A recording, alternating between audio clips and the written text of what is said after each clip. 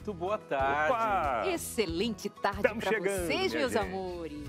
Prazer, hein? Alegria sempre estar com você aqui a cada tarde, é nesse começo de ano já ao vivo, saindo das férias. Ah, Mas estávamos com vontade bom, de voltar é e bom. ficar com você e que seja uma tarde linda para você e sua família, né, amigos? Saindo das férias significa que as férias acabaram, começaram as minhas, graças a Deus. aí, é que a gente, aí é que a gente acaba se enganando em alguns pontos, né, pastor Leite? Por quê? Aí eles, as crianças, né, voltam às aulas Ah. e aí a gente volta às tarefas da escola, voltam os trabalhos, voltam aquelas coisas que a gente precisa ajudar também. E aí? Em alguns Verdade. momentos, a gente já não... Eles, eles sabem mais do que Não, a gente em alguns pontos Gente, ali, né? Sinceramente, se eu tivesse filhos agora em idade escolar e eles Aham. chegassem para mim com algumas das tarefas que eu vejo dos filhos das minhas amigas, eu diria, menino, procura no Google, que eu não sei isso aí não. Deixa eu te dizer Como é que que tem uma amiga lá em ajuda? casa chamada Alexa.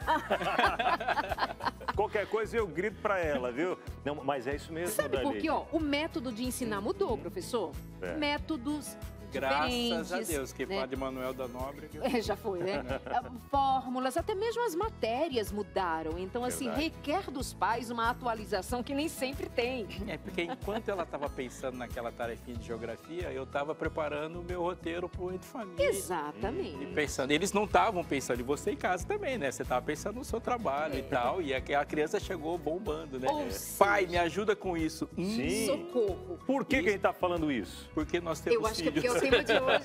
É o tema de hoje, minha gente. Tem essa dificuldade aí, você, pai, mãe, ou tio, tia, vovó, que às vezes o, o- chega aí, né, o filho, o sobrinho, enfim, pedindo aquela ajuda naquela atividade da escola e você olha para aqueles números da matemática, olha para o português, algumas ah, conjunções, enfim, já até esqueço o que, que é, né? Conjunções é lá do português, né? É isso, do português, é, do português Ó, conjunções. Eu pensei que era da matemática. Não, não. Mas você sabe o que mistura um acontece né? também? Eu já vi pais que eles sabem o conteúdo. Sim. Só que quando, por exemplo, eles explicam uma fórmula da forma como aprenderam, Uhum. eles dizem assim, não é assim que a minha professora faz. É. Não, mamãe, tá errado. E a criatura, né, fica sem saber o que fazer. Não tá E aí você não pode desautorizar a professora pode. e não pode passar vergonha na frente da criança. Não é? Sim, Que essa é a minha realidade. Muito A bem, nossa. mas para nos ajudar nesse tema de hoje, nós vamos conversar com quem entende do assunto, educação. Ela já está aqui com a gente no estúdio, é a professora Paula Escapeto. Bem-vinda e boa tarde, querida. Super jovem, mas já tem uma estrada que começou a vida na educação como professora bem cedo, né, professora? E ama muito essa área e a gente vai sugar bastante de você aqui no programa de hoje. E temos mais o quê, meus amores? Opa, temos o nosso hashtag de hoje. Lá em hashtag, Tô, tô vendo alguma coisa diferente ali no nosso cantinho do hashtag hoje ou não, Hum. da Leite? Eu- Pastora. Eu tô sentindo uma movimentação diferente. É, É, eu acho que quando a pessoa precisa de ajuda, ela é humilde para pedir, né? Boa. Aí, ela- aí o hashtag hoje, assim, eu acho que o bicho vai pegar, porque tem muita coisa. Para ele É. pedir Tô ajuda. sentindo um movimento diferente, tem mais gente. Lucas, o que, que tá acontecendo por ali? Josemara do seu lado, tá tudo bem? O que que tá acontecendo? Muito boa tarde pra Boa vocês, tarde, meus cara. amigos. Pra você de casa, Boa pra você também, Josi. Obrigada, boa tarde. Algo de errado não está certo. Não é verdade? Você tá vendo uma movimentação diferente. Então, eu e a Josi aqui, o que que tá acontecendo, pessoal? Lembra que ontem, durante o link, eu falei pra vocês que teríamos novidades no hashtag, a gente ia conversar durante a semana, passar a semana. Então, hoje eu vou contar uma coisa, mas daqui a pouquinho. É, só depois, Daqui né? a pouquinho, dá uma segurada. Tem que dar aquele suspense, Precisa. né? Até porque a gente vai falar também de duas notícias, de um vídeo que está viralizando nas redes sociais que mostra a reação de um menininho de seis anos que descobre que é o doador compatível para salvar a irmãzinha. E também a notícia de uma senhora que ela conseguiu concluir o mestrado. E sabe quantos anos ela tem? 70? Não, aí, não? mas eu Mas- só conto depois, viu? No Vocês, hashtag. vocês pegaram, Tem que né? manter esse Cuidado. suspense. Bom. O que mais? É por aí? Por aí, viu? Mas tem muitas outras coisas Sabe também. que eu gosto é muito? O timbre de voz da Josemar, já viu? Tem, assim, tem uma Verdade, né? manteiga na voz dela. Suave. Tem um suave Gente, fiquei vermelha agora. Gosto disso. Aí dá vontade de saber o que ela vai falar. né? Mais uma coisa é Ah, que verdade. O Lucas pensou assim, ninguém vai me mandar embora sozinho. É verdade. Ele tá montando a é verdade. dele, né? É. Lucas e Josemara voltam daqui a pouco, como nós também voltamos com você daqui a pouquinho, porque o seu programa da tarde está começando agora. Esse é o seu Entre Família. Até já. Estamos de volta. Aí, Olha peraí, quem tá apareceu. com eles, é, é a gente ou é com eles? Olha Estamos eles todos. ali de novo. Mas é daqui a pouquinho o hashtag, mas é já já. Antes, queremos lembrar para você a pergunta do dia. Quer dizer, queremos dizer a você qual é a pergunta do dia. E nós vamos esperar você responder, porque queremos ler aqui a sua interação. Como é que você lida com ajudar os seus filhos nas tarefas escolares em casa? Tem dado certo? Tá chegando junto ou diz assim, filho, desculpa mamãe. Qual é a pergunta de hoje, amigo? Pergunta de hoje, vamos lá. ó. Como você ajuda as crianças nas tarefas escolares? E já conta pra gente qual a sua maior dificuldade também de ajudar as crianças nos temas escolares. Porque a gente até falou um pouquinho na abertura do programa sobre isso, né? Que às vezes são assuntos ali que passou há tanto tempo e você não lembra mais. Ou também, Daleide, uma realidade de muitos lares que os pais às vezes estudaram pouco, né? Tem pouca escolaridade. E aí, até uma determinada, eh, determinada eh, série, eles conseguem ajudar, mas dali para frente já não conseguem Depois mais. do B com A, B a Bá, um B com... E, algum- e e alguns isso fizeram todo o processo. Sim, Também. Mas fazem, faz alguns semestres, né? exato. Faz tempo. Tem É. coisas que a gente simplesmente não lembra mais. É aquilo que eu falei, muda a fórmula, o jeito de ensinar, e a criança na sala de aula vai num direcionamento, em casa o pai, "Me- já te falei, aprende essa tabuada, menino, mas não é mais a tabuada como era antigamente que a professora pede. Uhum. Mas enfim, vamos que vamos. E agora? O que que tem Ah, o que você WhatsApp para a galera mandar gente? mensagem para cá, Aham. mandar as interações, né? Manda aqui no nosso WhatsApp, 129 8315 0249. 129 8315 0249. Manda para cá a sua interação aí. Ah, e a gente gosta de ver quem está do outro lado também. E se você, nessa tarde, está fazendo a tarefa de casa aí junto com os filhos, está ajudando enquanto acompanha o Entre Família, tira foto, manda pra gente aí também, né? gostei. Porque às vezes é um horário, o pessoal que estuda de manhã, né? Tá fazendo tarefa enquanto tá ali acompanhando Entre Família, né? Manda aí. Olha, olha, tem uma listinha aí, ó. Tem a senhorinha do mestrado, que vai envergonhar todo mundo que não está estudando. Verdade. Olha lá. Tem algumas notícias, tem uma razão do, é, desse, desse dueto que está rolando aqui, né? E a gente quer ouvir mais a voz da, da Josimara, que, que você disse que é uma voz o quê? Tem um veludo, tem uma manteiga. Eu Veludada. falei umas coisas assim. É demais. Então, antes deles falarem, que legal a gente ouvir a vinheta do hashtag.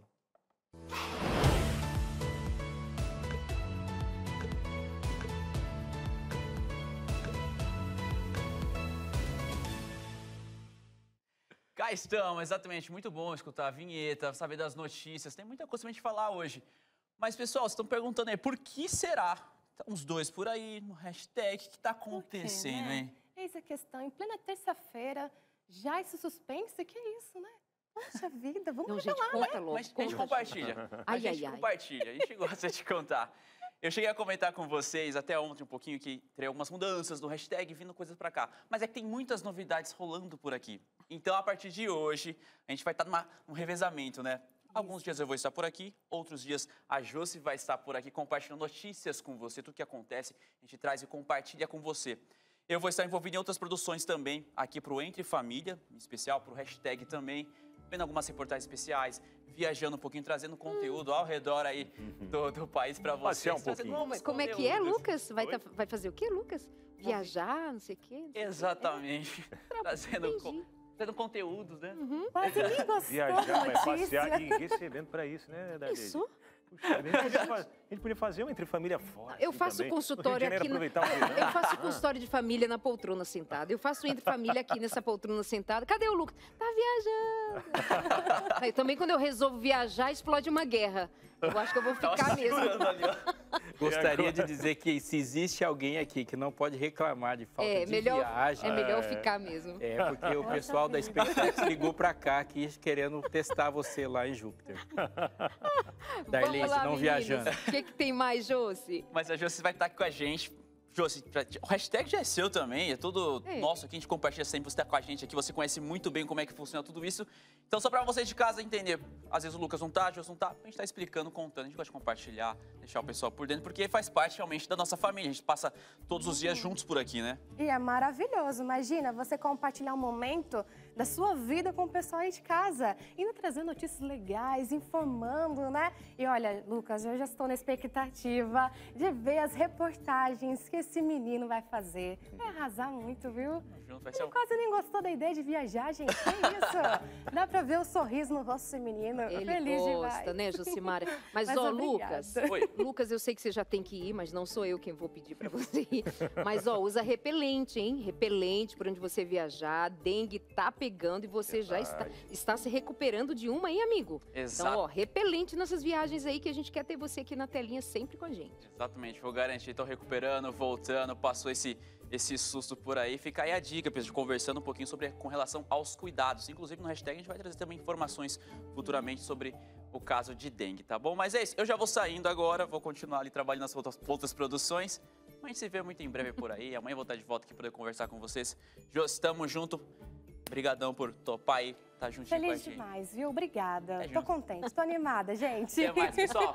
Valeu, Até mais. Tchau, querido. Até uma próxima. Vai Você é por aqui Deus. mesmo, ó. Até mais. Casa, tchau. E agora sim, gente, eu vou te contar aquilo que eu só falei, uma manchetezinha rapidinho, só que te causei curiosidade, agora eu vou te dar a notícia completa.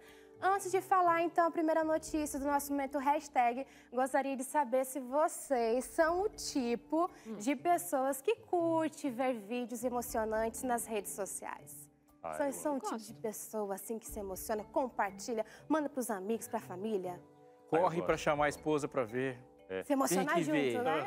Isso. alguns. E sabe o que eu faço? Eu vários. salvo tudo. Salvo. Salvo, fica tudo salvo pra chegar alguém, ou um amigo, ou minha filha, ou meu marido noutra hora. Seu irmão, vem ver. Aí eu ponho Eu, a pra pessoa salvar, ver. vou enviando pra minha esposa, né? Não, eu não, enviando geralmente eu não envio, mas eu salvo pra eu rever, rever, é assim que eu faço. Aí é emocionante, é tão gostoso, né? Eu vejo às Como vezes. se fabrica um viral? Assim, ó. É.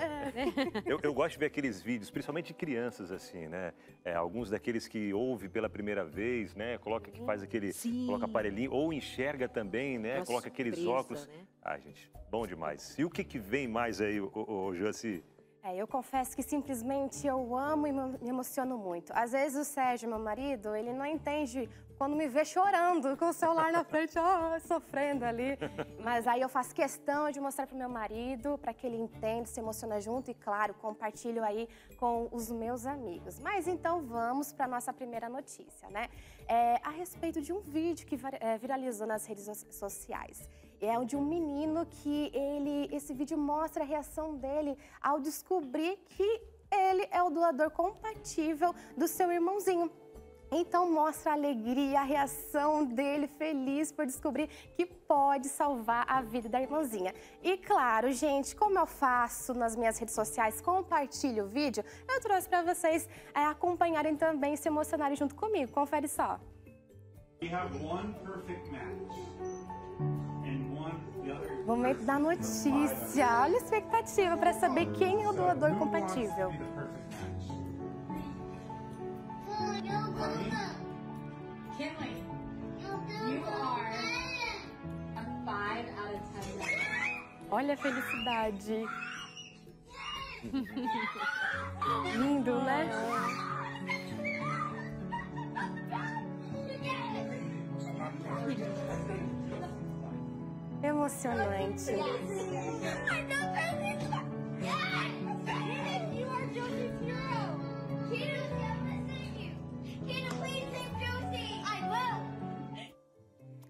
Não que tem amor. como não se emocionar, né? Que lindo. E é possível notar também que a menininha tá totalmente perdida, né? O que que tá acontecendo? A irmãzinha tá tentando entender o que tá acontecendo e o irmãozinho já sabe que ele é compatível, que ele pode salvar a vida dela. E ela foi diagnosticada com leucemia. Então, desde os 11 eh, dias de vida dela, ela já foi diagnosticada e vem tratando. E o vídeo tem um alcance já de 300 e poucos mil eh, visualizações. E a mãe segue nas redes sociais pedindo oração, porque eh, tem todo um processo, né? Por mais que conseguiu o doador, é compatível, é o irmãozinho, mas tem todo um processo de cuidados. Que lindo, A frase né? dele, né? Ele vai poder salvar a irmã. É demais. Sensacional. Emociona e muito. Gente, mas seguindo aqui, eu falei, perguntei para o Lucas se ele sabia a idade da senhorinha é, que conseguiu concluir o mestrado e agora eu vou te falar a idade dela. Seguindo com uma notícia, quero aproveitar o tema de hoje para já fazer um gancho aqui. Dizer que nunca é tarde para você é, correr atrás dos seus estudos, buscar conhecimento. Então, quando você se vê envolvido em ajudar seu filho ou neto com as atividades escolares, aproveita para expandir seus conhecimentos e investir em sua vida acadêmica. E foi exatamente isso que uma senhora de 90 anos fez, que é a Mini. Ela concluiu seu mestrado e alcançou um marco histórico, tornando-se a pessoa mais velha a completar um curso de na Universidade do Norte do Texas. Persistente e muito, viu? Seu foco principal é redação ao longo da sua carreira. Ela trabalhou também como freelancer e redatora para diversos veículos de comunicação. Mas olha, aqui tem algumas fotinhos. A Minnie, ela não quer parar por aí. Segundo ela, de uma forma ou de outra, pretende continuar aprendendo e para receber o diploma, na foto seguinte, o neto resolveu acompanhar ela até o palco, de mãos dadas. Realmente um lindo exemplo para todos nós, né? Um exemplo tanto para gente como também é para a família. Imagina que honra o neto poder acompanhar a avó de 90 anos que conseguiu concluir o mestrado. E não é uma graduação. Porque assim, uma coisa é falar assim, eu vou fazer uma coisa que eu preciso fazer, que é básico fazer, que alguém está fazendo, não. Ela está especializando, né? Ela colocou ali uma especialização. É, é, um desafio mais pessoal do que qualquer outra coisa, né?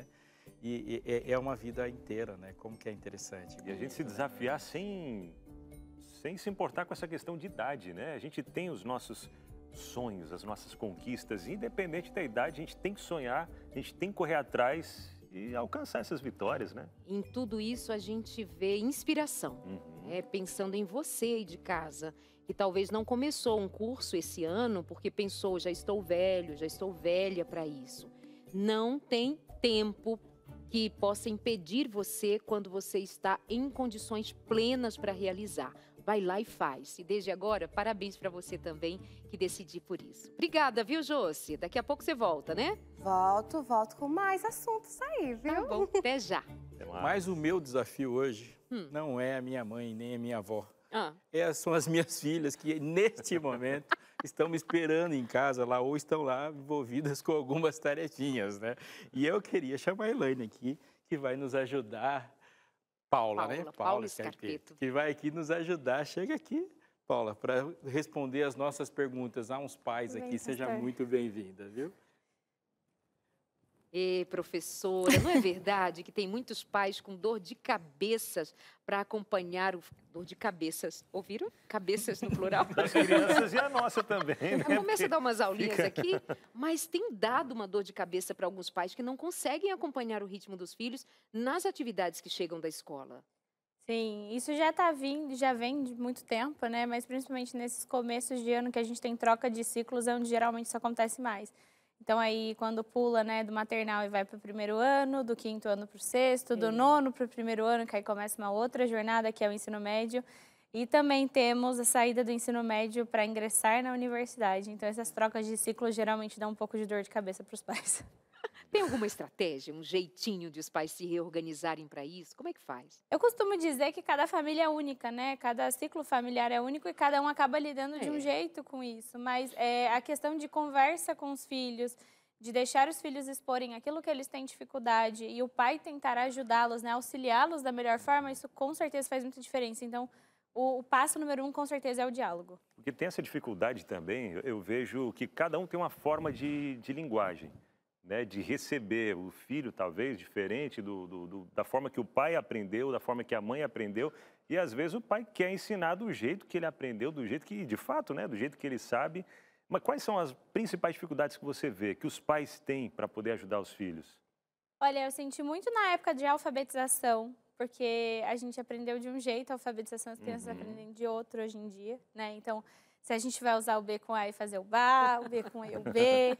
Então, assim, o pai, ele acha que às vezes, né, porque ele aprende daquele jeito, a criança tem que ir para aquele jeito. Só que tudo atualiza. Exato. Então, a gente também, como professor, está em constante aprendizado para trazer novas técnicas, né?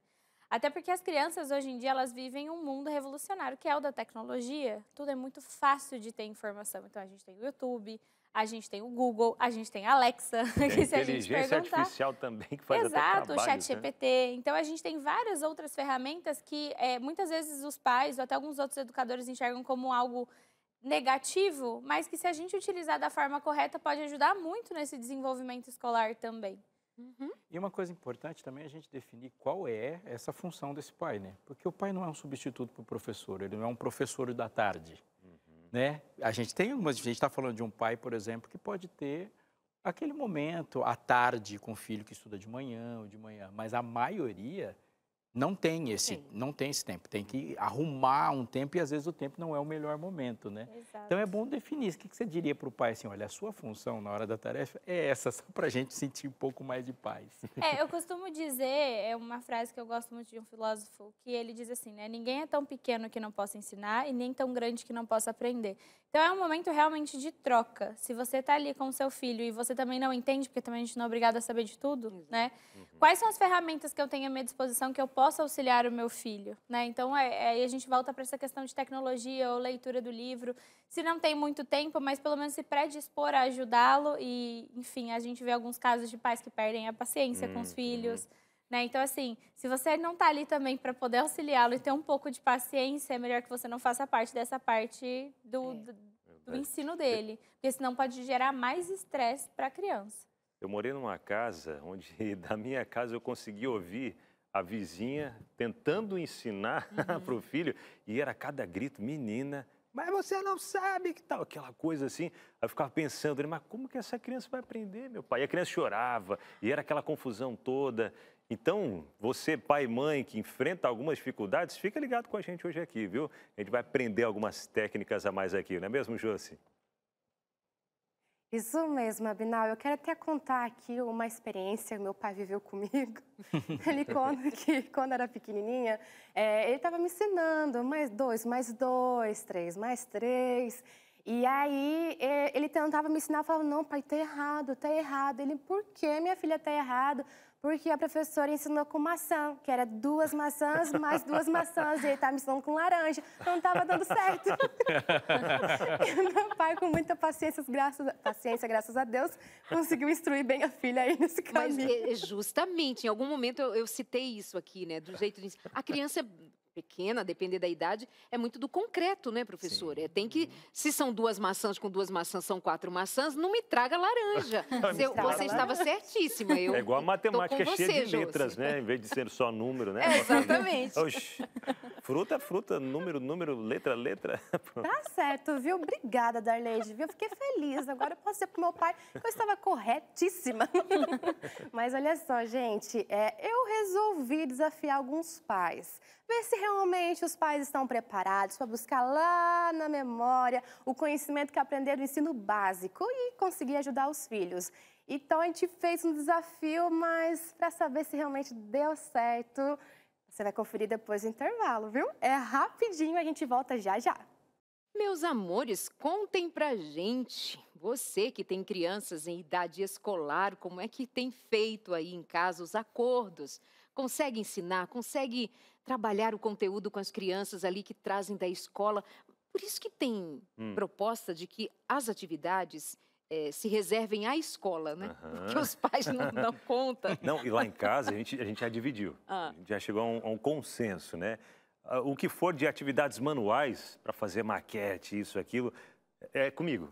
Agora, a parte de ensinar, de chegar junto ali, é com a minha Português, esposa, é com a Eliane. É com a Eliane. É tudo. Essa parte de, de, de ajudar nas Ainda tarefas é com ela. Eu, às vezes, né, às vezes quebro um galho ali, mas, mas é mais complicado para mim. Para ela, já é melhor essa parte. Mas, Mas- eu perco um pouco mais a paciência Oh, também. por Não, não, não é...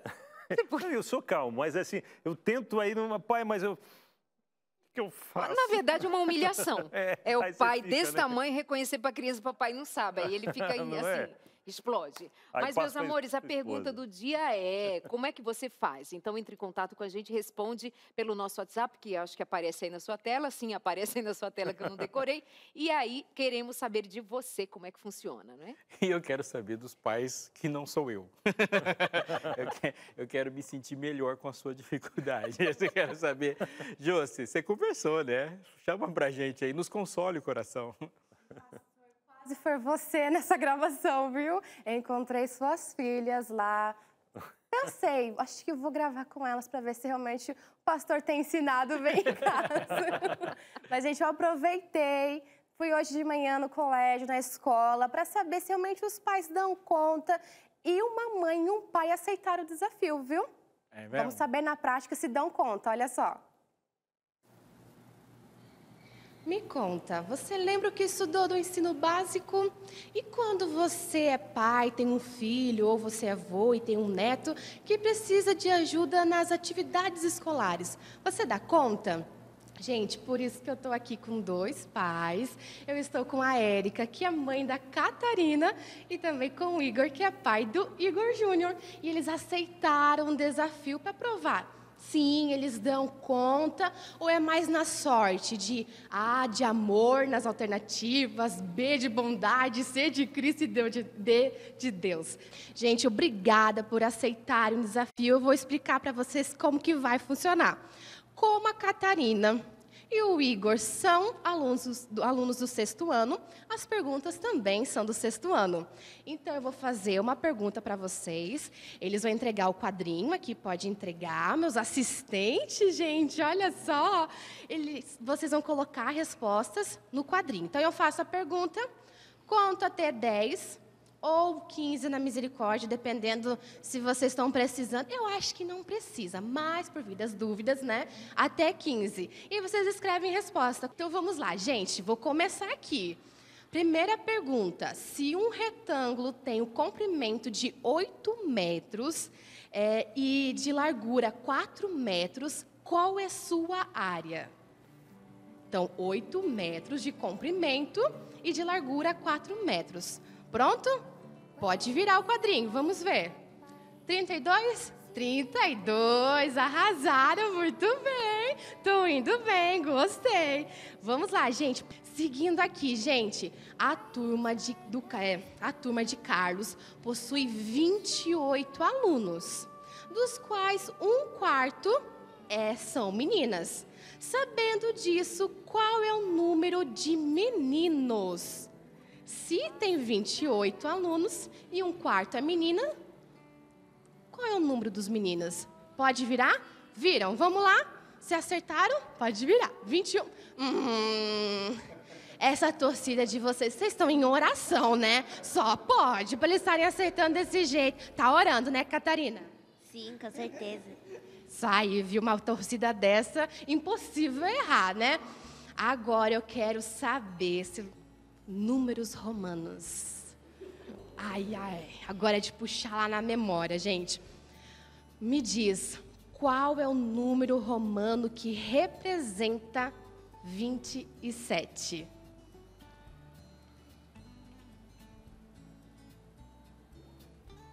Pronto? Podem virar. Deixa eu ver. E não é que acertaram, gente? Que isso? Estão mais do que capacitados para ajudar os filhos em casa? É assim com a Catarina todos os dias? Sim. Às vezes a Catarina dá uma resposta, né? Já sabe. Às vezes ela me ajuda, mas às vezes eu consigo ajudar também. Maravilha, a gente terminou. Não erraram nenhum. Vocês viram aí, conferiram que eles aceitaram com sangue nos olhos, conseguiram responder. E você arrasou também, né? Seu filho estava ali na torcida olhando, prestando atenção, estava fazendo tudo correto. Se ele ensinou direitinho. Certeza. Bem isso, gente. Obrigada por terem aceitado participar desse desafio. Obrigada também pela torcida, meus queridos assistentes. Vocês estão agora com o selo de garantia de pais que conseguem ajudar os filhos em casa. Mas aí eu quero saber de você de casa. Você acertou as questões que eu fiz aqui para eles? Ai, ai, ai, eu não ai. tenho. O desafio não é só para o pessoal de casa, viu? É para vocês também, Eu gente. acertei. Só Eu- no meio ali que eu, que eu errei. Ah, sou Sabe uma. qual que é o Só uma. desafio? Por exemplo, aquela dos, da quantidade de meninos. Isso. A professora ensinou o método. Uhum. E ela quer, obviamente, por técnica, que o método seja dominado. Porque se você dominar o método, aí você vai ficar desenvolvendo. Só que com o passar do tempo, a gente cria nossos mecanismos É. para chegar lá, né? É. Eu tô aqui 7, 7, 14, 14, 20. Aham. Eu, eu tô separando as laranjas, as maçãs aqui. ó. Não, é bem assim que eu faço também, às vezes, lá em casa. E aí eu chego no resultado e aí meu filho, não, pai, mas não, e agora? E a conta? Eu falei, não, fiz aqui na cabeça, né? Agora não sei. A professora precisa dar conta aqui, pai. Eu falei, filho, e agora? Como é que a gente faz? Aí Mas- pra desenvolver, né? Mas há que se fazer. Mas há que se fazer uma defesa muito importante dos professores, né? Que a gente fica falando assim, parece que o professor largou a bomba na nossa mão. O professor não, Não, faz não. isso. Não. Quando a tarefa chega em casa, geralmente, pelo menos na nossa experiência, o professor já disse o que ele quer que eu faça. Verdade. Falou, pai, se eu quero isso, isso, isso, eu ajudo seu filho a fazer isso. Então ele não quer que eu seja o professor de, seja lá, eu não, não sou especialista em tudo. Mas ele já diz, né? E isso é muito importante. Agora, eu devo dizer, sentir muita dó das professoras ou professores de história das suas filhas. Porque ele- essas crianças, no caso as duas filhas dele, têm dois professores de história em casa. Uhum. E a primeira graduação dele é em história. Então imagina, a professora em sala de aula dá um conteúdo de história, chega em casa, pai. Aí o pai concorda ou não concorda? a mãe diz sim ou não. Chega no outro dia na escola, professora de história, ó, Deus te abençoe muitíssimo. O que foi resolvido, porque a professora de história da Esse minha ano- filha é a minha esposa. Esse ano a mãe é a professora delas. Josi, parece que você já vai nos deixar por Já hoje. vou deixar, mas antes eu quero deixar uma perguntinha. Qual é a raiz quadrada de 300? Josi, até amanhã, querida. Ai, beijo. pai. Raiz quadrada é gengibre. Comecei te elogiando. Josi, beijo. Eu vou deixar vocês aí, mas depois, ó, lá fora a gente Gostaria de dizer que Raiz raiz, quadrada. quadrada não existe. Se você pegar mandioca, pegar cenoura, É um formato totalmente redondo. diferente. Existe É diferente, não é Tem quadrado. nada de quadrado, né? Nada, nada. Tá aí, Josi, respondido pra você, Josimara. Até Então tá amanhã. tudo beijo. certo, Valeu. viu? Beijo. Beijo Tá- estão perdoados agora? Um abraço, um beijo, até quinta-feira. Paula, se sinta à vontade aí, viu? Boa sorte, né? Tchau. Vamos lá. Dicas para ajudar os filhos na escola, professora. Ajuda Na a gente prática, por né? aqui, na prática. Vamos lá. O que, que nós temos? Quais são as dicas? Vem pra tela ou a gente lá, ó. só? Você Você- não precisa saber tudo. Importante, né? A gente comentou um pouco sobre isso, que não é obrigação dos pais saberem Não, tudo. eu não né? concordo. Não precisa saber tudo. É, Não sabe mesmo. sabe? É, e eu cresci num lar cheio de professores. Meus pais são professores, meus tios, meus avós são professores. E nem sempre meus pais tinham as respostas para Uhum. tudo. E assim como eu sou professora, ainda não tenho filhos. Mas quando os meus primos vêm me questionar, ou até mesmo meus aluninhos vêm me questionar, sou mais da área de humanas, né? Às vezes, na área de exatas, a gente também dá uma engasgada e a gente também não tem resposta para tudo, né? Por isso que cada um é bom naquilo que, que, que se dispõe a fazer, né? Tem suas habilidades e a gente, em conjunto, consegue fazer um bom trabalho. Sim, Exatamente. Tem mais, meus amores? Um pensamento que vai sair da cabeça do, do Abinal ali. Queimando a cuca. Ensine o hábito de estudar um pouco por dia. É, eu Uhum. gosto muito do matéria dada, matéria estudada. Né? Então, criar uma rotina dentro de casa é muito importante. Então, que os afazeres venham antes, né? Assim, os deveres vêm antes de qualquer outra coisa, né? De brincadeiras ou, ou momentos de lazer. Então, chegar em casa, deixar sempre um horário reservado para a criança onde ela esteja disponível para a realização de tarefas e dar uma olhada no conteúdo que foi passado. Por quê? Porque você já ali, é, eu gosto muito do método de resumo ou de mapa mental, né? Então, você colocar é, o que você foi aprendendo durante o dia e faz uma pasta para você ir salvando. Até porque quando você for ter uma prova, você não precisa revisitar tudo. Você vai olhar seus resumos, você vai olhar seus mapas mentais e seu cérebro vai estar trabalhando todos os dias para aquilo. Então, se você também já gera alguma dúvida, né? Ou tem alguma dificuldade, você já consegue identificar isso anteriormente do que deixar passar muito tempo e lá na frente você não conseguir resolver isso. Então, o que você está sugerindo é que os pais criem o hábito de estudar um pouco a cada dia? Não entendi. Não, os filhos. filhos. Que a ah, gente, para os que filhos. os pais que criem os pais rotina. orientem os filhos para criar rotina quanto Talvez a isso. um resuminho, até para né? para pedir menos aos pais ajuda, né? Mas eu creio também, é, Paula, que essa é a maior de todas as contribuições. É. E quando a gente fala de Brasil, qual a grande dificuldade do Brasil para desenvolver pesquisa? Nós não transportamos do ensino médio para o ensino superior pessoas que têm uma mente metódica. É muito difícil desenvolver uma mente metódica. E é impossível fazer ciência sem método. Ciência é método e método é rotina. Então hoje é mais fácil você encontrar pessoas que têm um alto QI, um alto potencial, mas é difícil encontrar aquelas pessoas que têm agenda mental, aquele ritmo de ensino. Então ensinar a ler, ler um pouco por dia, fazer ter essa é a maior tarefa, né? Compromisso, né? A pais. criança tem que ter esse compromisso também. É certo a gente dizer, por exemplo, filho, filha, né? É, o pai tem o trabalho dele, a mãe tem o trabalho dela, o teu trabalho é estudar. É certo a gente falar isso para os filhos? O seu compromisso, o pai tem o compromisso com o trabalho, a mãe também, o seu compromisso é com a escola. É, é você mostrar para a criança, para o adolescente, o quanto aquilo vai impactar na vida dele, né? Qual é a importância dele estudar. E o que, que aquilo vai fazer de diferença na vida dele, né? Então, assim, é, é o trabalho dele ali também estar focado no estudo e poder apresentar resultados ali, assim como você tem que apresentar no seu trabalho também.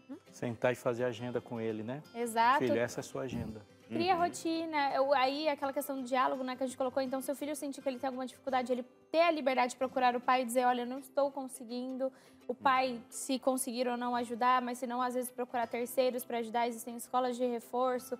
Existe, às vezes, reforço dentro da própria escola, né? Às vezes a escola tem essa E sabe que a gente capacidade também fala também, professora, é, de um lugar em que a gente considera que todos que nos estão assistindo, nos ouvindo e que têm essa demanda com filhos em casa foram bem escolarizados ou foram de fato alfabetizados. Mas há situações em que de- eh, o que vemos são pais que não tiveram escolarização mínima para auxiliar os seus filhos que hoje têm um acesso à educação, seja ela melhor, de mel- melhor qualidade ou não, mas tem e isso também é alguma coisa que a gente precisa considerar, é, até para que os pais saibam que é por isto que não alcança aqui, porque lhes faltou lá atrás. E quando você puxou ali a questão do diálogo, né, de, de até explicar para o filho, filho, é que assim, o pai e a mãe não conseguiu, não- mas a gente vai dar um jeito, aí dá o suporte de outra maneira. Mas é uma realidade que o Brasil conta com isto. Pais que não tiveram boa escolarização e hoje lidam com o desafio de ajudar os seus filhos em tarefas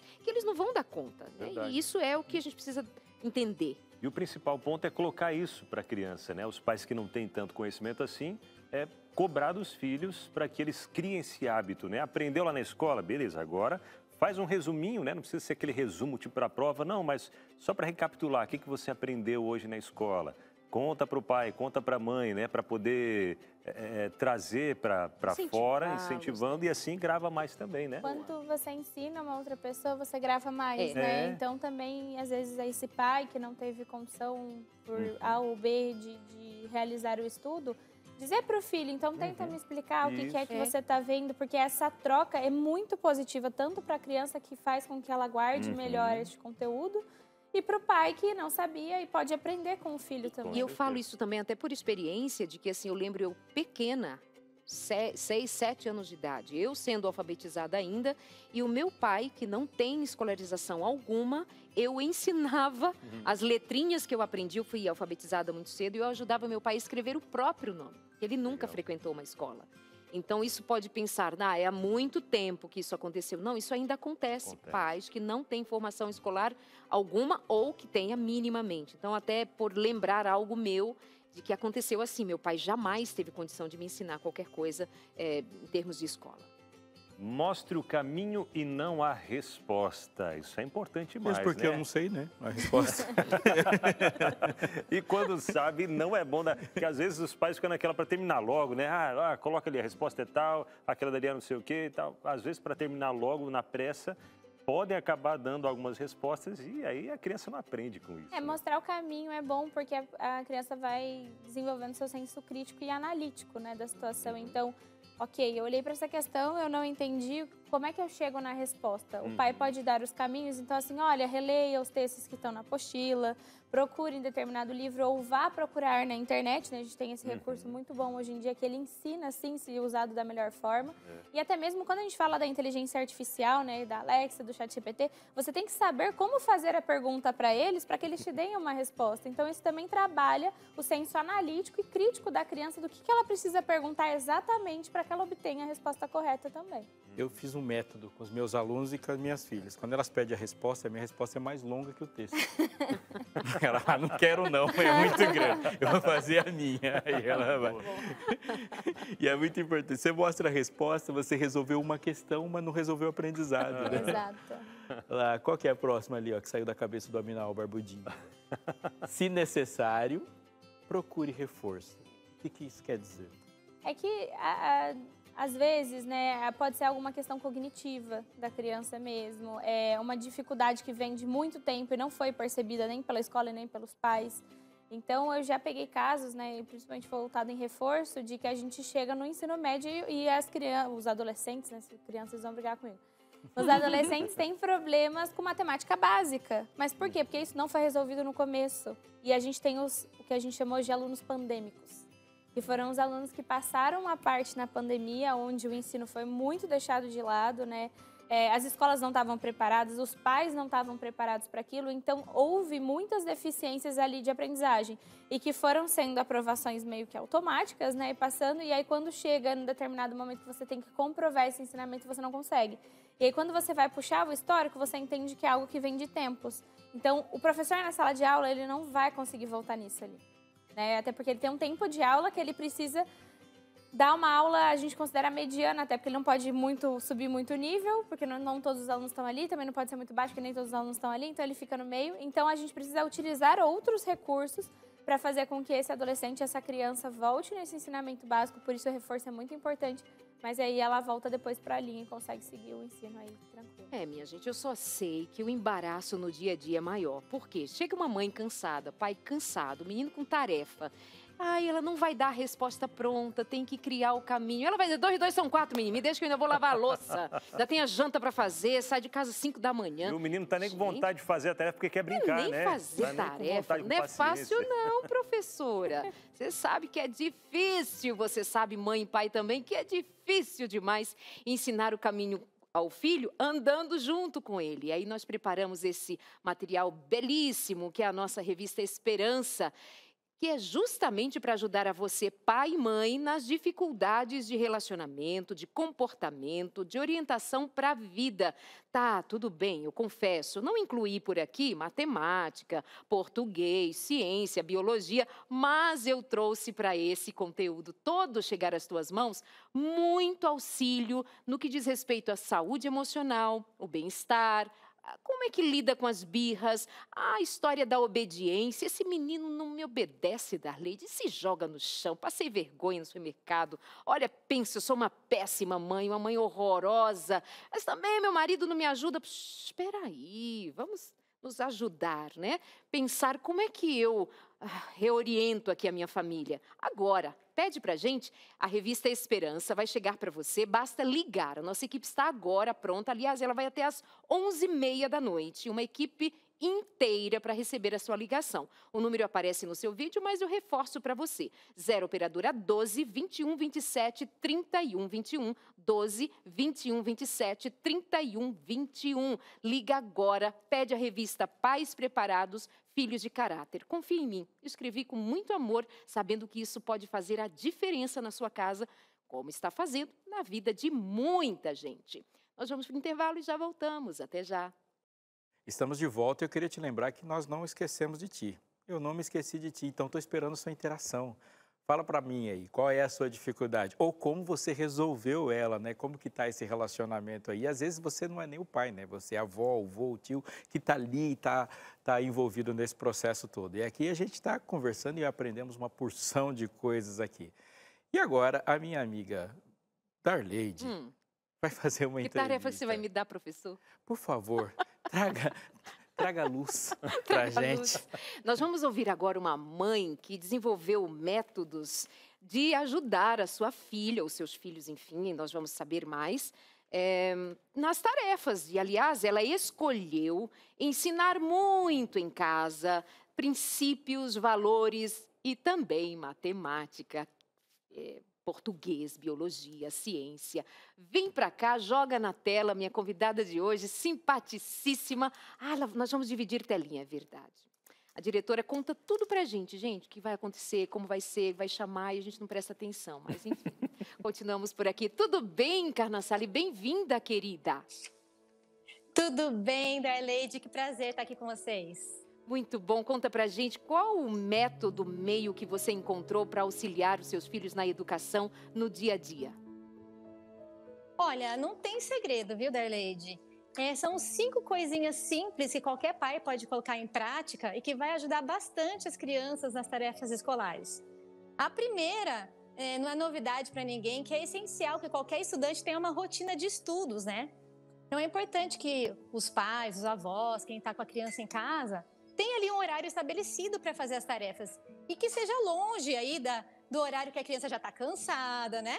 De preferência que seja logo em seguida. Chegou da escola, tá com fome, já come, faz ali alguma tarefa mecânica, né? Ajuda a limpar a cozinha e já vai, já parte ali para as tarefas escolares.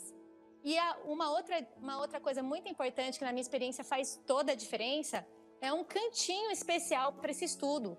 Livre de distração, livre de gente passando e, e barulho, porque criança é muito difusa, né? Então, se você tem muitas distrações, obviamente que ela não vai conseguir se concentrar nas tarefas, no estudo. Então, é bem importante isso. E se a gente vai ajudar a criança, se ela está precisando do nosso auxílio, é importante que a gente não traga essas distra- distrações, né? A gente evite usar o celular ali, ou ver, ou ver esses vídeos emocionantes que vocês compartilharam com a gente. Não é o momento que a criança vai se distrair ali. Outra coisa também bem importante, que funciona muito aqui em casa, é a gente estabelecer incentivos para que essa tarefa seja concluída com sucesso. Então, olha, você tem aqui seu momento de estudo, mas você terminando com sucesso aqui nesse período X, a gente vai passear, ou você vai andar de bicicleta, ou vai fazer qualquer coisa que a criança queira. Então, você põe ali um incentivo para ela. Ela vai ficar assim animada, né, de, de ter aquele desafio de terminar logo e fazer bem feitinho. E olha, Karina, você, uma você é, é pedagoga, né? Você tem formação na área de educação, portanto, facilita para você aplicar técnicas, meios, pensar é da sua área. Mas, é, ao mesmo tempo, o que você diz é, serve para que todos ponham em prática, porque você também está falando de disciplina, de organização, não é nenhuma Exato. técnica mirabolante. Começa por aí, né? De organizar a agenda da criança, por o tempo, a hora de estudo, ter essa organização que é próprio para uma família, né, Karina? É muito importante, porque sem organização, sem um cantinho especial, a criança não vai conseguir produzir nada, né? E vai ter aquela relação de, de irritação com os pais, né? Que é muito importante que os pais, que os, os responsáveis que vão ajudar ali, mantenham a calma, especialmente com aquelas crianças mais agitadas, né? Que já chegam da escola querendo se livrar dos estudos e partir para brincadeira. As suas crianças, elas são mais calminhas, mais solícitas a esses momentos de estudo? Como é a sua demanda com os seus?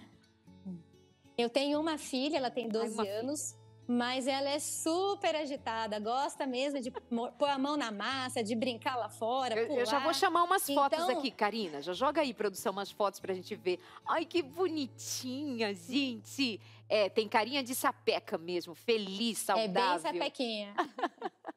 é bem sapequinha. Ela gosta bastante de de estar na natureza, de correr, de pular. Mas na hora do estudo, é importante a criança entender que, apesar de não ser a coisa que ela mais gosta do mundo, né? Aham. É, a gente também pode tornar esse momento um momento especial, um momento lúdico, um momento com descontração.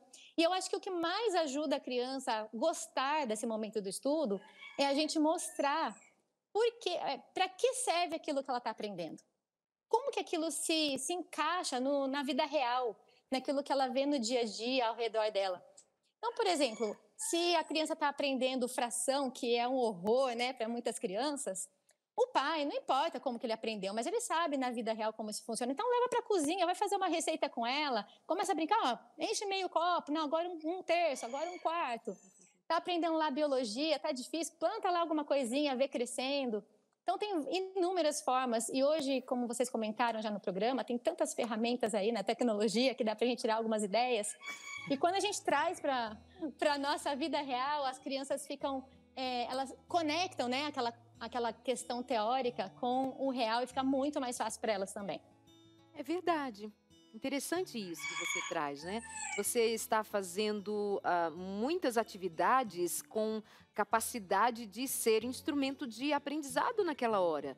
É, vai fazer uma comida com a criança, então pode medir o copo de arroz, tem um terço, tem metade, tem um quinto do copo. Exatamente. E, e eu percebi que você cria, assim, sua filha muito ligada à natureza, que é Ó, outro... o Eu acho que galinho eu tô ouvindo até cantando. um galo aí cantando, se não me engano, por aqui. Não sei. Mas Ele isso não com- obedeceu a ordem de ficar quieto agora. Eu já fiz vídeos assim, menina, eu tinha galo cantando, os pintinhos piando ali do lado. Mas não perceber essa interação da criança com o dia a dia que faz muita diferença. Achei bem bonito isso aí que apareceu nas fotos. E parabéns pelo seu cuidado, Obrigada. parabéns aí pela sua atenção ao programa de hoje também. Obrigada, Karina. Obrigada, eu que agradeço a participação. Obrigada. Mas dá vontade de ficar ouvindo É. mais, não Eu estava pensando aqui, o senhor não pode usar o galo para fazer frações, hein?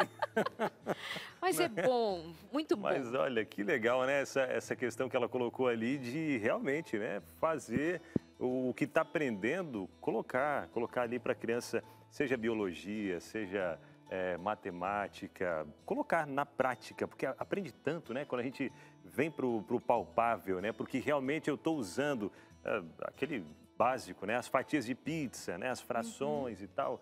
É tão bom, né? Quando a gente usa na prática isso. Tem coisas que a gente não sabe para que que a gente vai usar, né? Professores, você você deu uma olhada que ali é dupla de professores. né? Então? então vamos lá. Ah, Ó. Agora vamos chegar. Não é? Mas Sim. assim, veja bem, essa a gente costuma colocar o aprendizado eh, numa caixinha, aí tem a diversão noutra caixinha, aí tem as atividades de casa noutra caixinha. É, seria ou é mais inteligente quando a gente consegue unir isso e fazer no dia a dia um movimento de aprendizado. É por aí? Não me olhe com essa cara, professor. Vai, professora. Eu já venho de, de uma, é, uma visão da metodologia ativa, né? Onde a gente tem que pôr os alunos realmente na mão na massa. Porque é justamente isso. Quando você entende o porquê de fazer aquilo, vai ter é, algo que seja é, Integrado. né? integrado para ele, vai valer a pena, né? Então aí ele entende que por- o que eu fazia muito com os alunos no colégio, então se a gente tinha que aprender sobre matemática, adição, Uhum. subtração, a gente colocava vários produtos para eles, dava uma quantidade de dinheiro, mas por exemplo colocava é, o, o leite condensado com um com o valor de cinco reais, outro com Uhum. três e cinquenta.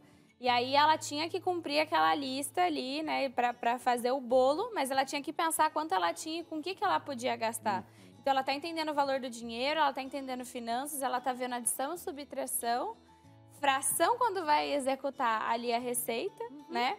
E aí no final ela entende que a matemática sim é importante para o dia a dia dela. Aí a gente coloca a teoria com a prática e Mas forma afinal, ela também fez o bolo?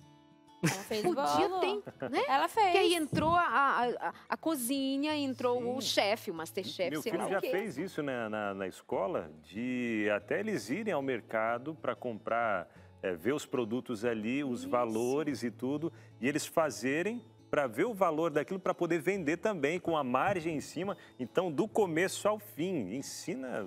Isso, e que é interessante, ensino né? fantástico. Se você, por exemplo, tem uma, uma atividade de sair da sua casa, ir com seu filho no supermercado e voltar, e veja quantas áreas do saber que na escola estão separados vão se juntar no processo. Você tem que fazer a conta. É matemática o tempo todo, né? Ao examinar o tomate e a laranja lá, tem muitas áreas do saber sendo aplicadas, né? O que está podre, o que não está, o que foi de manhã, o que foi à tarde, o exercício, entregar, pegar o troco, tudo. A educação física, tudo ali. Eu, eu gosto de pensar que a escola é um arco, né? No primeiro ano, tá tudo junto. Aí ela vai, conforme você vai se especializando e crescendo, se separa tudo, para depois juntar tudo de novo. Quando se fala assim, olha, um cientista disse isso. Ninguém pode ser considerado cientista neste mundo com uma área do saber. Ele juntou todas, ou muitas, né? Isso é muito interessante. Como é no dia a dia. O desafio do, do formal é uma coisa impor- importante. Te- É legal, é divertido, é junto e ao mesmo tempo a gente ensina o que é o mundo do trabalho, o que é o mundo do formal, o que é o mundo sério, o que é o mundo da agenda. Mas ele não precisa ser chato, né, Daí? Isso é muito legal. É isso. Temos Temos interações, produção? Já pra cá, Tatiana Lima. Oi, boa tarde. A dificuldade é ela querer fazer a tarefa. Sempre fica com preguiça. O que fazer para não perder a paciência? Ê, professora, uma criança com preguiça Aí. Novidade zero para fazer tarefa. E uma mãe perder a paciência, novidade zero ao quadrado, né? É, então por isso que a gente fala da importância da rotina, né? De que seja colocado um hábito de que ela tem que fazer.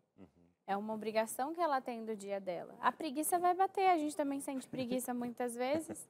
Então, igual ela falou assim, chega, vai almoçar, né? Se a criança estuda de manhã, é, aí depois dá um tempinho para a criança. Eu também não recomendo fazer muito logo em seguida, mas também não deixar um leque muito grande, porque aí o corpo esfria, né? E aí depois vai bater aquela preguiçinha mesmo de fazer. Mas se a gente cria um hábito e uma rotina, a criança ela vai se habituando a isso. É igual quando a gente fala, ah, eu vou acordar cedo e vou malhar às 6 horas da manhã. É difícil querer levantar, principalmente quando faz frio, ou quando a gente está com aquele ali aconchego da cama. Mas se a gente colocar isso como uma rotina pra gente, depois de uma semana isso já, já fica mais prático pra gente também. A Darley disse que isso leva mais ou menos 60 anos. Né? E ela está tentando desenvolver uma técnica para deitado mesmo na cama, fazer os exercícios ali e sair pronto para o dia. Será que eu não quero é? facilidade? É Mas tem algumas coisas que são interessantes, né, do que você falou, né? Não deixar, e eu queria reforçar isso que, que a Karen falou, que isso, isso é muito importante como especialista. Por exemplo, você almoçou e já vai fazer a tarefa. Dá um espaço, né? Dá um Exato. espaço daquele, desse tempo. Ela passou na escola, por exemplo, das sete ao meio-dia. Você emendar uma... uma é, é- é- assim, Não é biologicamente aceitável. Ao mesmo tempo, você não pode colocar uma tarefa ou uma atividade extremamente prazerosa para a criança para que ela seja interrompida para fazer uma tarefa formal. Isso vai aumentar muito a preguiça. Uma outra coisa muito importante é não colocar tarefas com alta carga de dopamina. Por exemplo, ela vai ficar na frente de um celular. É dopamina na hora. Você interrompeu uma carga de dopamina, e a gente está falando por dopamina, uma, um hormônio do prazer imediato. E aí, aquela outra atividade, ela é antinatural. Isso gera quase dor. É como você interromper uma coisa ali que o cérebro está intoxicado. É como você tomar um- a sobremesa e depois, ah, salada. Não quero Não, salada, é, eu quero não. mais sorvete, né, por exemplo. Ou fazer a tarefa quando o cérebro está cansado já. Exato. Por exemplo, passou a tarde inteira fazendo mil coisas, agora às seis da tarde vai fazer É. a tarefa. Não vai render. Então fica aí a dica, viu? Fica a dica para você, pai e mãe, eh, se deixa brincar no celular ou videogame, que seja depois, viu? Um combinado para depois, né? Aquele tempinho que você limitar, depois da tarefa, nunca antes, porque Videogame antes da tarefa é roubado. gera esse problema todo. Vamos lá, mais participação. Quem chegou? Opa, quem, Quem chegou? será? Quem, Quem é essa será? linda moça? Que já foi chamada de Alexa, mas o nome dela de verdade é Eliane. Eliane Lacerda, minha digníssima esposa, socorro, ela está dizendo, né? Esse assunto dá um calafrio né, na espinha. Tem que pedir muita paciência para Deus na hora eh, de ajudar o filho na tarefa de casa, porque não é fácil. Recorro ao YouTube, verdade, quando não lembro bem do assunto, né? A parte boa é que a mente da gente continua trabalhando. Isso é uma coisa que ela faz bastante também, e eu às vezes faço também, né? A gente vai para o YouTube, né, para pegar algumas, algumas dicas, É. assistir aulas, né? E, inclusive, aprendi muita coisa no YouTube, viu, pastor Alejo? Tem isso algumas mesmo, ideias aham. boas aí. YouTube University. É, que Não, inclusive... ele já aprendeu até engessar perna É, quebrada. e aí várias Crianças, outras não façam isso em Arrumar casa. máquina de lavar e vai, né? Mas é, assuntos que chegam da escola, a gente não lembra de mais nada. Vai no YouTube, tem várias aulas incríveis, aprendeu, passa para o filho, para a filha, pronto. Né? Coloca o filho junto para assistir junto. e vai, eh, o filho vai junto, né? Lembrando, ah, verdade, foi isso mesmo que o professor ensinou. Sensacional. Agora eu fico ouvindo vocês assim, falando dessas, dessas questões, e e preciso aqui fazer um voto de gratidão, porque eu não passei por isso. Gente, agora que a ficha está caindo, minha filha foi incrível. Nunca perdi a paciência com minha filha, nem lembro de ela. Mãe, é, não sei. Filha, te amo para sempre. Obrigada. Aleixo, que temos por aí? Não, eu queria aproveitar para lembrar uma coisa muito importante, né? Uma das coisas que também é um desafio para a gente é a gente parar e criar essa rotina com a gente, porque às vezes a gente externa a nossa própria bagunça, né? A gente fala das crianças é que elas têm pouca pa- capacidade de esconder seus próprios problemas. A gente vai desenvolvendo aí uma certa capacidade de esconder um problema. Mas eu queria chamar a atenção para um negócio muito sério, muito sério. O Darleide falou ali dos pais preparados.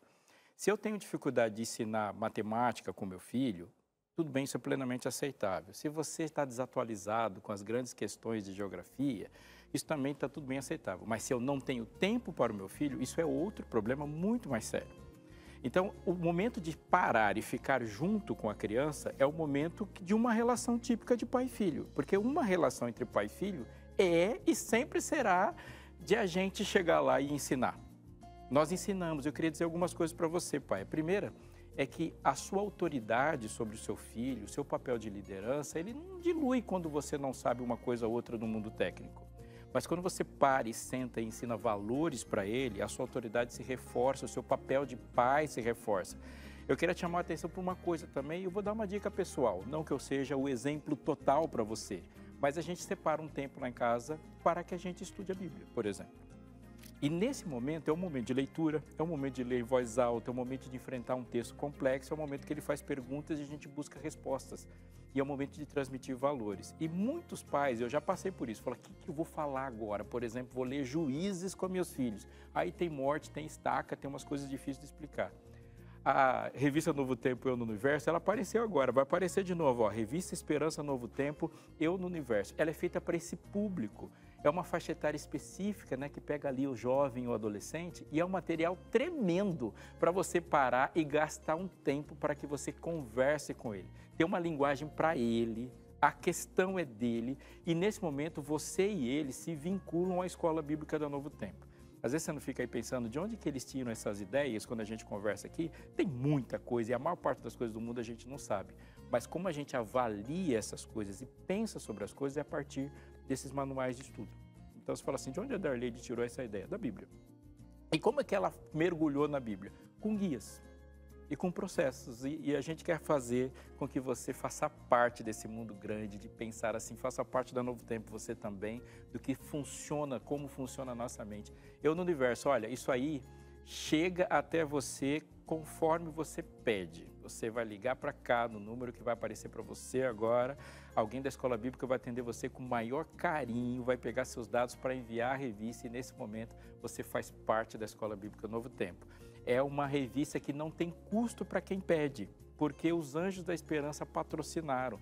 Eu poderia até dizer que é de graça para você, mas foi um custo de alguém que está te presenteando com isso. Então não perca essa oportunidade. Faça essa tarefa com o seu filho que vai ser muito bom. Verdade, ó, já estou com uma dessas revista, dessa revista aqui incrível. Então faz o seguinte, aproveita agora, pega o telefone, deixa para depois, não, você esquece. 12 é, 0, o código da operadora, 12 21 27 31 21, é isso? 0 operadora 12 21 27 31 21. Liga agora, conversa com a nossa equipe, o pessoal vai te atender maravilhosamente bem. Enquanto isso, até as 11h30 da noite, viu? Enquanto isso, a gente vai para o intervalo. É o tempo de você beber aquela aguinha, como sempre diz o pastor Robson Aleixo, pegar o telefone e ligar. 0 Operadora 12 21 27 31 21.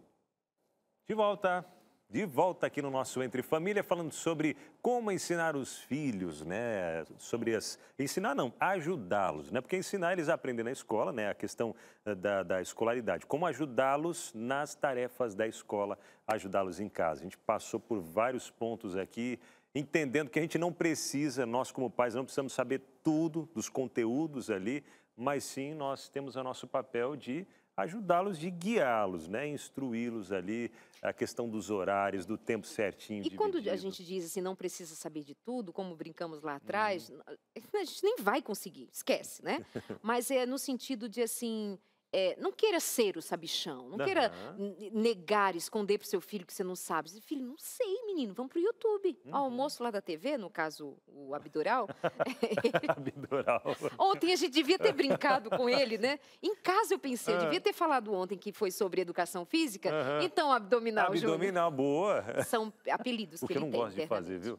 E aí ah, não dói, gosta, né? abdômen, não. É e aí, meus amores, só para a gente não ficar nessa coisa de sabichão, de saber tudo. Então, vamos pesquisar, vamos estudar. Isso serve até para ambiente, a ambiência familiar, não é, uhum. professora? Criar assunto, interação. Com certeza, e também para mostrar que o pai também é um ser humano e tem seus pontos fracos, é. né? Então, que não tem nada de errado em você não saber algo. É você pode recorrer às pessoas, que você pode perguntar, que você pode ouvir outras pessoas, né? Então isso também traz algo percepção da criança de mundo muito importante, de que ela sempre, ela não é obrigada a saber tudo. O Porque nem o pai dela sabe. É, você não precisa convencer seu filho que você é o pai dele. Não, tá tudo E esclarecido. pesquisar, o fato de pesquisar já junto com os filhos ali já é uma grande forma de, de aprender, né? Também. É, e se fosse eu também, eu iria na escola dizendo, professor, pelo amor de Deus, amiga, não manda. Não manda tarefa de casa.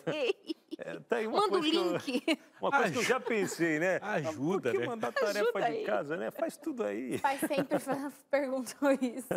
Mas é uma coisa legal a gente definir qual é o objetivo da tarefa de casa. Sim, Porque se a gente não importante. souber, a gente se perde mesmo e fica desesperado. Né? O objetivo Lá da na tarefa escola, vocês pensam nisso? Pra que essa tarefa?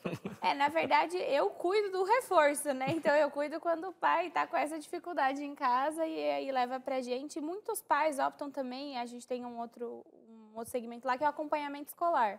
Então, quando a mãe fala, né, a respeito de ter um cantinho só para criança, dela ter um espaço para ela estudar, é o que muitas vezes os pais trazem pra gente, porque aí tem pedagogos acompanhando o filho e ao mesmo tempo é um local que ele sabe que ele vai cumprir essas tarefas, a gente sabe qual o objetivo que a tarefa vai levar, porque a tarefa em si, quando o professor passa, é para justamente rever o conteúdo que foi dado aquele dia e para que a criança ali, o adolescente, ele perceba se ele já tem alguma dificuldade ou não. Por isso que a gente fala que a aula dada, aula estudada é algo muito bom para a criança. Tudo bem, eu fazia as maquetes que pediam pra minha filha. Até hoje eu fico assim, pra que tanta maquete, gente? Ah, eu Pra gosto, viu? quê? Mas é que aí vai Essa Mas trabalhar é, as é legal, eu tô só manuais. dizendo que era na minha vida.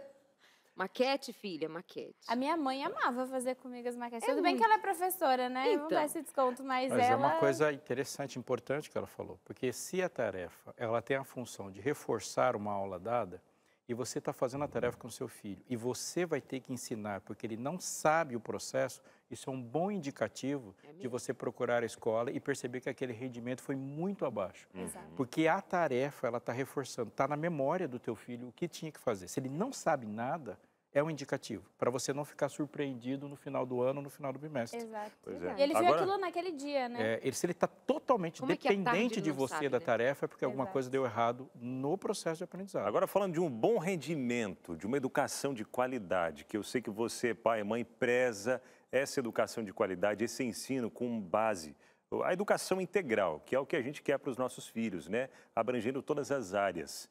Então, deixa eu trazer uma dica para você. Rede de Educação Adventista. Nós temos alguns internatos, inclusive, até vamos jogar na tela aí também, para você já pegar o contato para você acessar educaçãoadventista.org.br, mas sem os acentos ali, viu? Fica educacãoadventista.org.br. Você vai saber quais são os internatos da rede de educação adventista para você eh, levar o seu filho, até mesmo as escolas adventistas mais perto aí da sua casa.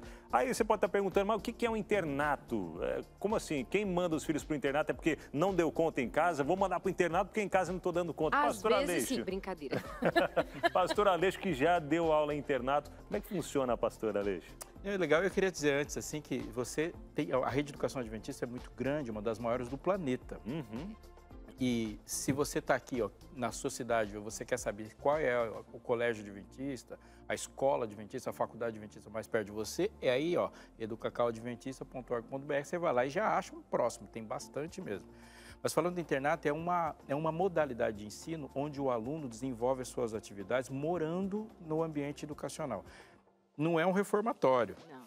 Mas você- ele tem uma vivência 24 horas ali. Então, a aplicação do ensino é muito grande. Eles moram no, no local de ensino, almoçam ali, alguns têm um, um tipo de atividade é, dentro dos limites da lei e do projeto de educação de trabalho lá. A vivência é muito intensa, muitas conexões. Então, o internato é uma opção muito boa para quem está pensando Desenvolve muitas educação de áreas. qualidade. Eu super viu? recomendo, já que a minha filha fez ensino médio, fez formação e só tenho o que agradecer pela rede de educação adventista e o resultado na minha família foi simplesmente 10. Fica a sugestão para você. Temos mais interações, né? Temos, temos várias interações. Que Quem que vem chega pela por aqui? frente? Aí, ó. Olha, Ah, Uma olha a professora, Lu. outra professora chegando na área, gente. A tarefa de casa é fundamental para o aprendizado. O fardo dos pais é pesado, mas devemos sempre lembrar, lembrar que os alunos estão tendo contato com temas, por vezes, muito abstratos e precisam de auxílio. Verdade, Pro. Olha que professora linda. Você fala, Queridíssima. reconheci essa foto.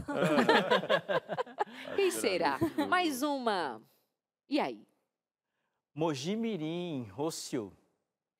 Boa tarde. Meus filhos agora são adultos, mas quando eram crianças, eu sempre os ajudava nas lições de casa. Uma vez eu ajudei meu filho a fazer uma redação. Eu dava as dicas e ele desenvolvia. Virou até livrinho. O cão e a bolinha inspirada em nosso cachorro. Olha só que legal. Com a minha filha era a matemática e a leitura. Ficava muito feliz em poder ajudá-los. Confesso que a matemática não era do meu tempo, mas eu conseguia ajudar da melhor forma possível. Acabava aprendendo com ela. A gente Boa. volta naquilo, né? Ninguém é tão grande que não possa aprender, nem tão pequeno que não possa ensinar. Essa Isso. troca é Verdade. muito valiosa. Uhum. Perfeito. Vamos lá, última participação. Maurício Veiga, ele diz o seguinte: ó, em nosso lar temos tarefas bem diferentes, ou melhor, bem definidas sobre as orientações de estudos, desde o ensino infantil até hoje na faculdade de dois filhos, eh, Direito e Engenharia Civil. Legal, um abraço para você, Maurício, família toda aí também. Abraço, parabéns. Bom, e a nossa gratidão a você que participou, você que mandou aí a sua interação para a gente por aqui. Obrigado, viu? Obrigado mesmo. Pastor Robson Aleixo, tem aquele momento onde a Bíblia traz essa, esse ensino fantástico para a gente, que não pode faltar. É a base de todo o nosso estudo, da nossa existência, na verdade, né, Pastor Aleixo? É, é muito importante que a gente pense nisso. Eu queria te chamar a atenção para um detalhe da Bíblia muito importante sobre herança. Quando você abre a Bíblia no livro de Gênesis, e se você acompanha aqui o Entre Família, você vai perceber que você vai ouvir muitas meditações com base no livro de Gênesis, e eu vou de cara te dizer por quê. Porque quando a gente quer saber exatamente o que é imperfeito, você precisa ter uma boa noção do perfeito. E nenhum, nós não temos. Ao seu redor, você não vai usar, não vai ver absolutamente nada perfeito. O que existe de perfeito e a definição do perfeito você só vai encontrar na Bíblia. Ela diz o que éramos, qual é o modelo de ser humano. Sabe aquela frase assim, errar é humano? Mas quando o homem foi criado, ele não errava. Errar é algo que passou a fazer parte do nosso cotidiano a partir do momento que o pecado entrou. Então, quando a gente olha para o livro de Gênesis, do mundo perfeito que Deus nos deu, nós compreendemos o que tem de errado conosco e buscamos uma salvação com uma expectativa que Deus nos dá. Mas coisas que Deus disse ali são princípios e são bases que a gente não pode abandonar. Preste atenção no começo do livro de Gênesis, quando uma parte do livro fala dos descendentes de Caim. Olha só, no capítulo 4 do livro de Gênesis, logo depois do primeiro homicídio, Deus começa a dizer e a mostrar para Noé, em alguns versículos, o que foi acontecendo. E diz assim: ó, Caim teve relações com a sua mulher, capítulo 4, verso 17. Ela ficou grávida e deu à luz a Enoque. Caim edificou uma cidade e a chamou Enoque, o nome do seu filho. Enoque nasceu Irade, Irade gerou Meujael, Meujael gerou Metusael e Metusael gerou Lameque. Presta atenção, não desiste, porque às vezes genealogia dá uma canseira, mas ele vai dizer algo muito importante. Lameque tomou para si duas esposas, o nome de uma era Ada e outra era Zilá. Ada deu à luz a Jabal, que foi o pai dos que habitam em tendas e possuem gado. O nome do seu irmão era Jubal, que foi o pai de todos que tocam harpa e flauta. Zilá, por sua vez, deu à luz a Tubal-Caim, artífice de todo instrumento cortante de bronze e de ferro, e a irmã de Tubal-Caim foi Naamá. Uma pausa até aí. Há uma coisa estranha nesse texto, porque esse texto fala de genealogia, fala de como a geração foi se desenvolvendo e está faltando uma palavra numa genealogia. Eles não morrem, eles inventam. Inicialmente, eles inventam e edificam uma cidade, eles desenvolvem a pecuária, eles desenvolvem a siderurgia, eles desenvolvem instrumentos musicais e eles desenvolvem uma lógica que gera morte. Mas eles simplesmente não morrem. É óbvio que todos que morreram, envelheceram e morreram, mas não há uma menção de morte sobre eles. E quando a gente olha para isso, a impressão que dá é que todo o progresso da humanidade foi feito por esse tipo de pessoa, descendentes de Caim, gente má. Quando você vira a página e começa a falar dos descendentes de Sete, que era um homem fiel a Deus, você vai ver basicamente essas informações. Por exemplo, Sete viveu 105 anos, gerou a Enos. Depois que ele gerou a Enos, ele viveu 807 anos e teve filhos e filhas. Todos os dias de Sete foram 912 anos e morreu. E dali até o final do capítulo não tem nada diferente disso. Ele gerou, fala o nome do primogênito, quando ele tinha idade, viveu tantos anos e morreu. Os descendentes de Caim inventam, fazem, acontece, desenvolvem, fazem tecnologia, fazem o um mundo. E os descendentes de, de Sete, eles fazem filhos. Só isso. Só isso que diz que eles fazem filhos e morrem. Mas o que Deus está querendo dizer com a gente, para a gente com isso? Um filho é uma semente. Filho é a nossa continuidade. As coisas, a herança, o mundo, os valores não continuam com coisas. O que continua é pessoas. O amor, a paz, a alegria. Cristo no coração, a graça é transmitida para filhos. Não se transmite isso para o seu carro. Você ama seu carro, você e seu carro desaparecerão. Você ama seus filhos e o amor que você teve para os seus filhos será encontrado daqui a algumas gerações, porque esses valores continuam. Por que, que não a menção da morte dos descendentes de Caim? Porque eles morrem todos no mesmo dia, no dilúvio, e hoje ninguém, ninguém fala do que eles fizeram, não há menção sobre eles, e para sempre eles deixaram de existir. Mas é dos descendentes de Sete que conhecemos Cristo. É dos descendentes de Sete que veio Noé, Abraão e todos os homens da humanidade, pois isso é real. O que você transmite para os seus filhos? Mais do que edificar uma cidade, é dizer por que se edifica uma cidade. Mais do que ensinar a dominar uma tecnologia, é dizer o que fazemos com essa tecnologia. Você pode não ensinar para o seu filho todas as tecnologias que ele vai aprender na escola, mas com certeza é você que vai ensinar para o seu filho o que ele vai fazer com isso. Desenvolver uma tecnologia nuclear é muito importante. Mais importante ainda é dizer que não se deve fazer uma bomba com ela. Desenvolver uma lâmina é muito importante, que pode cortar um alimento para alguém. Mas ele tirar a vida de alguém é isso que você diz sobre o que fazer ou o que não fazer. Os valores são transmitidos por você e eles sim vão continuar. Pense nisso no seu coração e se reproduza na vida dos seus filhos. Que lindo. Me chamou a atenção quando ele diz assim: é, o amor que você hoje deposita em seus filhos, entrega para os seus filhos, Uhum. será encontrado daqui a algumas gerações. O amor que você tem pelo seu carro, pelas suas coisas, o que for, não tem, né? É. Não resta, não, porque não é perene. Obrigada, pastor. Querendo ouvir mais Aleixo, você tem o Fé para hoje aqui na sua Novo Tempo. Professora, obrigada, viu? Prazer sempre recebê-la aqui. Eu que agradeço sempre estar aqui com vocês, ouvir essas belas palavras e, se me permitem, dizer isso para os pais, né? Que o amor que você deixa para os seus filhos, a sua presença, Uhum. vale mais do que qualquer presente que você possa deixar para eles. Presente sempre na vida dos filhos. Obrigada. Importa muito. Até mais, meus amores. Até amanhã com seu Entre Família. Beijo. Tchau, tchau.